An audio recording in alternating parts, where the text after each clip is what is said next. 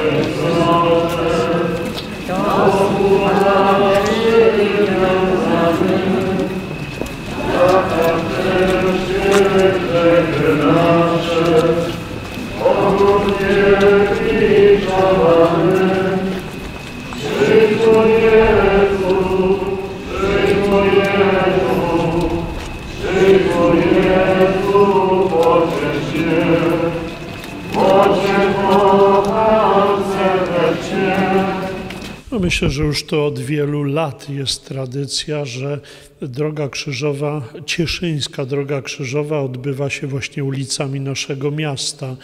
Y, zawsze wybierany jest kościół, z którego rozpoczyna się ta droga krzyżowa i kościół, gdzie się kończy. Istotne jest to, że idziemy y, rozważając mękę pańską, zawsze mamy jakąś intencję. Tym razem jest to intencja bardzo ważna.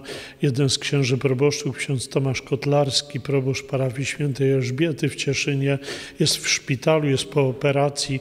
Chcemy modlić się i z jego parafianami, i z całą społecznością Cieszyna w tej intencji. Myślę, że będzie nam też towarzyszyć modlitwa o zakończenie wojny na Ukrainie.